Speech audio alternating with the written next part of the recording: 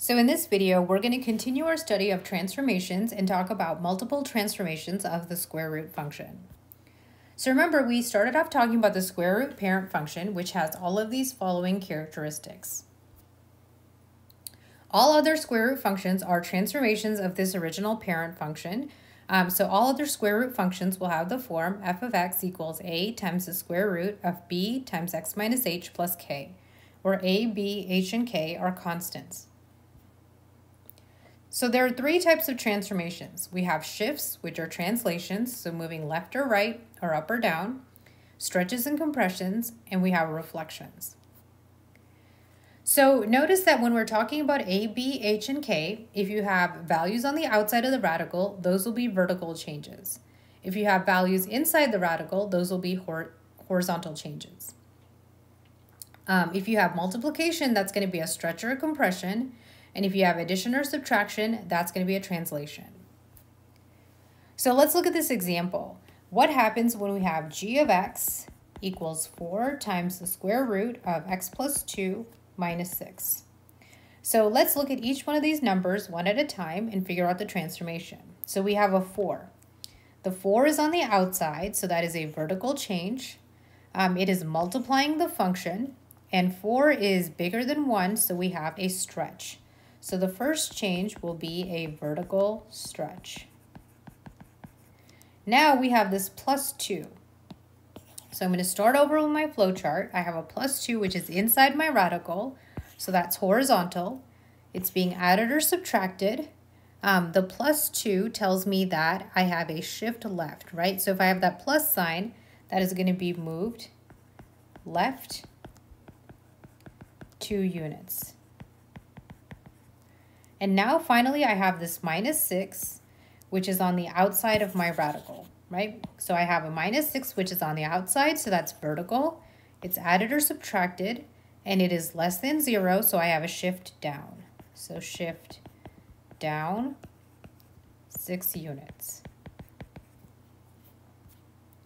So we can confirm this by graphing both functions. Notice that the transform function in red is vertically stretched, shifted to the left two units and down six units.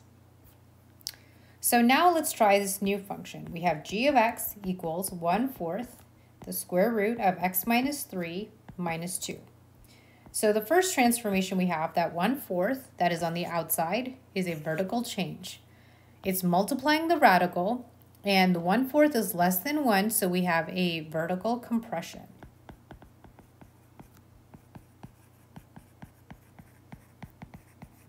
Now the next value we have is a minus 3. So let's start over with our chart. The minus 3 is inside, so it's going to be a horizontal change. It's being added or subtracted. And I see a minus sign, so that's going to be shifted right. So it's going to be shifted right 3 units. Now finally we have the minus 2 on the outside. So the minus 2 is on the outside, which is a vertical change. We have an addition or subtraction, which means that it's moving down.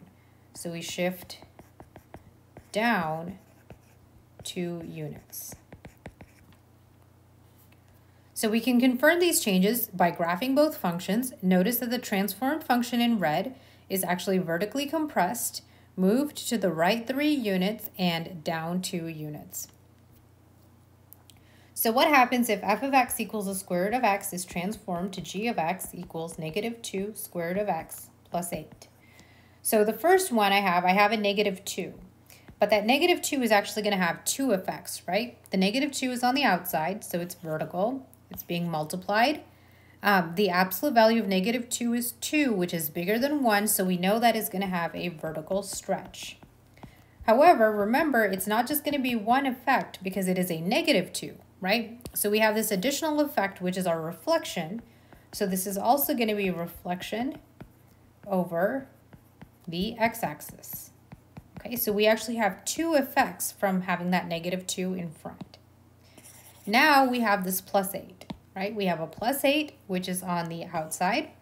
Once again, it is a vertical change. Um, the plus 8 is being added, and it is bigger than 0, so we're going to have a shift up 8 units. If we graph both functions, we can see the transform function in red is vertically stretched, it's reflected over the x-axis, and it is moved up 8 units. So now you can go ahead and pause the video and try this problem on your own. So we have three numbers that are changing the uh, graph of our function. We have a 3, minus 7, and a plus 5. The 3 on the inside is going to be a horizontal compression. The minus 7 on the inside is going to be a shift right 7 units. And the plus 5 on the outside will be a shift up 5 units. So we can confirm these by looking at the graph. You can see that the red transform function is moved up 5 units, right 7 units, and it is vertically compressed, or sorry, horizontally compressed. So in summary, remember our square root transformations. If we have changes outside the radical, those are going to be vertical changes. Changes inside the radical are going to be horizontal changes. Multiplication is going to be a stretch or compression, and addition or subtraction is a translation.